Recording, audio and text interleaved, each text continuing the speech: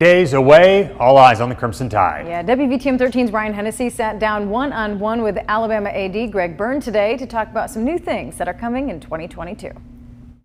I'm here outside the Mal Moore Athletic Facility. Now, Mal Moore, an AD here at Alabama, is known for a lot of things, but many people know him as the man who hired Nick Saban. Now, the new AD, Greg Byrne, is heading into his sixth season with the Tide. He's extended, but it wasn't easy getting to Alabama. He was even rejected early in his career. I'd forgot early when, in my career when I was trying to get into college sports, and even with the contacts that I had, it's a hard industry to get into.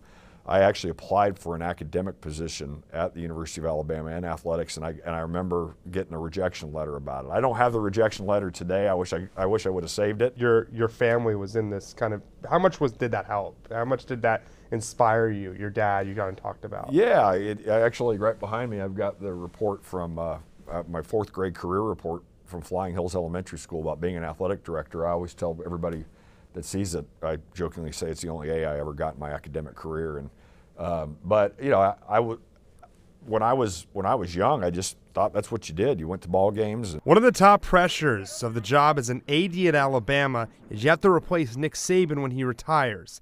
I asked Byrne if he thinks about that a lot. The day I got hired and we had the press conference, I got asked that question about 100 times. What's it feel like to be the guy that's going to hire Nick Saban's replacement?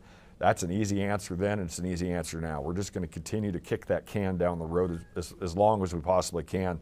And his energy, his enthusiasm, the tread he has on his tires still really strong. And so at some point that will happen. Uh, but I think everything we're trying to be focused on is making sure we continue to support and grow the program uh, to where he knows that we we want to do everything we can to have success. We appreciate Greg for his time today. That's a check with sports here in Tuscaloosa. Guys, what do we have coming up at 6:30?